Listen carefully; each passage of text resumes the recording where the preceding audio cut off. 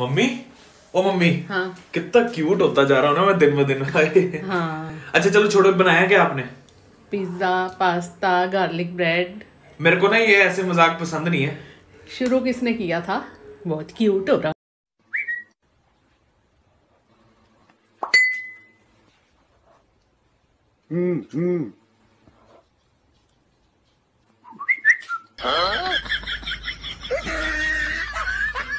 देखा देखा ऐसा लगता है।